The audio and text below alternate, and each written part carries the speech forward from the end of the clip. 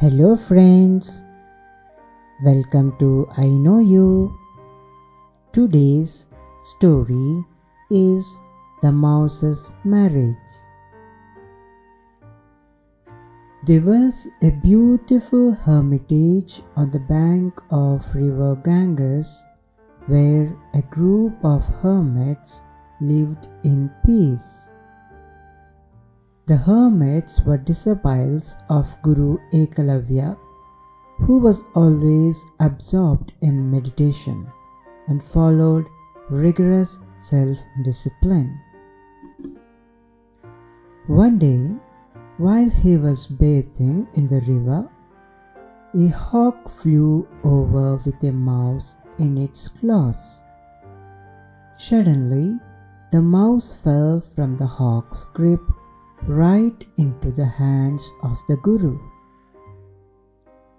When the Guru noticed that the hawk was flying above, he knew he cannot leave the mouse alone, or he is to be caught again. He put the mouse on a leaf of a nearby banyan tree and took a second bath to purify himself.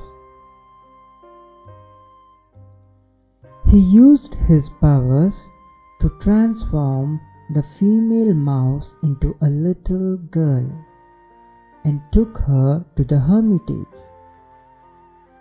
He said to his wife, My dear, please accept her as our blessing, as we do not have a child of our own. Thus, the girl started growing in the hermitage under the care and supervision of the Guru himself.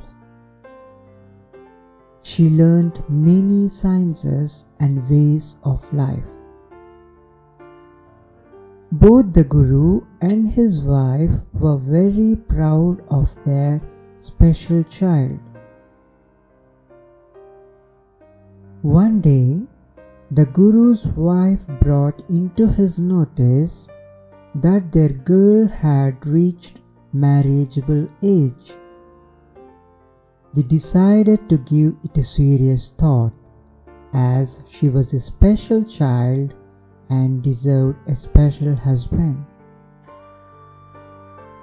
The next morning, using his powers, the Guru summoned the sun god to him and said, Please accept my daughter's hand.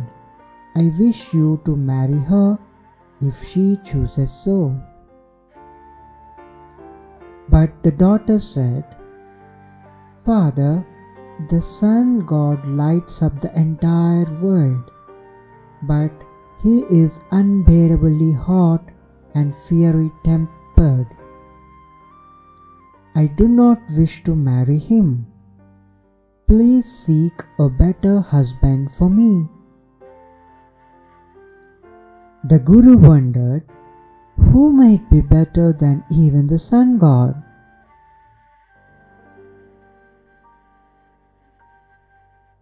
The sun god advised, Guruji, you can seek the alliance of the king of clouds. He is superior to me, for he can cover me and my light. So the Guru, using his powers, summoned the king of clouds and said, Please accept my daughter's hand. I wish you to marry her if she chooses so. But the daughter said, Father, the king of clouds is dark, wet, and too cold. I do not wish to marry him. Please seek a better husband for me. The Guru wondered who might be better than even the king of clouds. The king of clouds advised, Guruji, you can seek the alliance of the Lord of Winds. He is superior to me, for he can blow me away. So the Guru, using his powers, summoned the Lord of Winds and said, Please accept my daughter's hand. I wish you to marry her if she chooses so. But the daughter said, Father, the Lord of Winds is too fast and restless. He keeps changing his direction. I do not wish to marry him. Please seek a better husband for me. The Guru wondered who might be better than even the Lord of Winds. The Lord of Winds advised, Guruji, you can seek the alliance of the Lord of Mountains. He is superior to me, for he can stop me from blowing. So the Guru, using his powers, summoned the Lord of Mountains and said, Please accept my daughter's hand. I wish you to marry her if she chooses so. But the daughter said, Father, the Lord of mountains is too hard and rigid. He is immovable. I do not wish to marry him. Please seek a better husband for me. The Guru wondered who might be better than even the Lord of Mountains?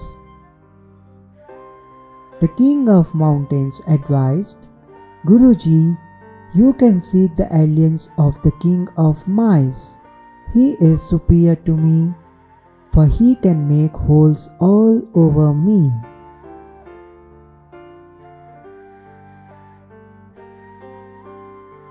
So, the Guru, using his powers, summoned the king of mice and said, Please accept my daughter's hand.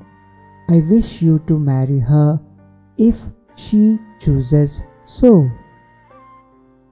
When the daughter met the king of mice, she was delighted and shyly agreed to the marriage. The Guru transformed her daughter to a beautiful female mouse. For her to perform all household duties of her clan. Thus, the Guru's daughter was married. Moral What is inborn can never change. Like, share, and subscribe. Press the bell icon for notifications. Thank you for watching. See you in the next video.